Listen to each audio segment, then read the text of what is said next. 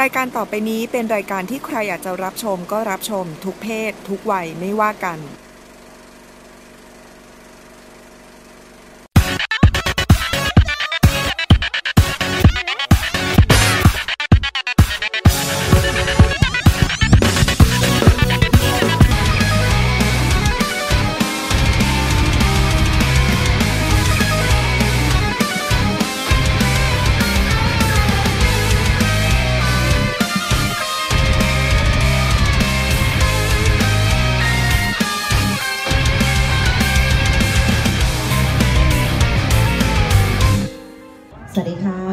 วัสดีนักกอล์ฟทุกท่านด้วยนะคะ ต้อนรับเลยเข้าสู่กิจกรรมของเราได้ Honda LPGA Thailand 2019 ค่ะ วันนี้อยากจะเชิญชวนนะคะสำหรับนักกอล์ฟที่เป็นทั้งผู้หญิงและผู้ชายค่ะ วันนี้สามารถมาร่วมกิจกรรมของเราได้ วันนี้จะมีการตีแบบระยะไกลเนี่ยสำหรับนักกอล์ฟผู้ชาย 400 หลาค่ะ แต่ถ้าเกิดว่าเป็นนักกอล์ฟผู้หญิงเนี่ยก็จะตีในระยะ 350 หลานั่นเองนะคะ ก็จะเป็นการแข่งขันไดร์ลูกกอล์ฟนะคะจำนวนไม่เกิน 3 ครั้งเนี่ยตีให้ใกล้ที่สุดในระยะที่เรากำหนดค่ะ ก็จะมีของที่ลึกนะคะจาก Honda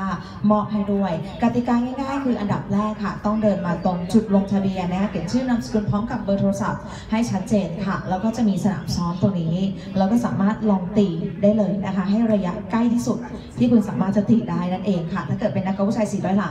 ของผู้หญิงเนี่ย350 หลานั่นเองนะคะ ก็จะมีกิจกรรมตลอดทั้งวัน ช่วงบ่ายเนี่ยเราก็จะมีผู้ชนะนะคะ เป็นผู้ชนะกับผู้รองชนะนะคะ เอ่อ ก็สามารถได้รับสิทธิ์การแข่งขันรอบ final ด้วยการออกรอบกอล์ฟทั้งหมด 18 หลุมนั่นเอง ก็จะชิงกันนะคะ ก็จะเป็นตัวแทนภาคกลางนะคะไป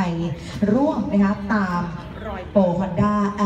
LPGA นะคะไทยแลนด์ 2019 วันที่ 25 กุมภาพันธ์นั่นเองนะคะ กิจกรรมดีๆ แบบนี้ติดตามกันได้ วันนี้ค่ะเราอยู่กันที่สนามไดท์ธนาซิตี้นะคะ เปิดให้ลงทะเบียนแล้วหลายๆท่านที่บอกว่ากำลังวันนี้มันหยุดด้วยนะคะ มาตีกอล์ฟกันก็สามารถมาลงทะเบียนกับพวกเราได้ ลงทะเบียนได้ฟรี ไม่มีค่าใช้จ่ายค่ะ แล้วก็จะมีของที่ระลึกจาก Honda มอบให้ด้วยนะคะอยากจะเชิญชวนทุกท่านจริงๆค่ะในการสามารถมา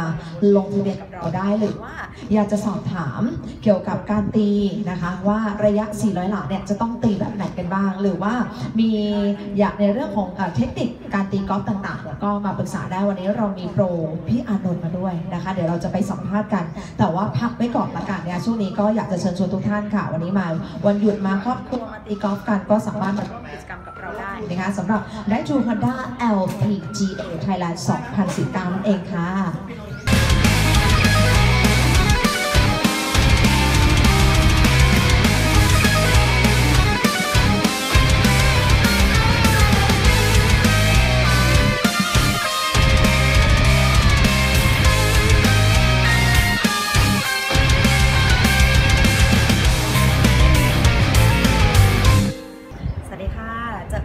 แล้วนะคะสำหรับอีกหนึ่งช่วงค่ะสำหรับในงานการแข่งขันได้ทู Honda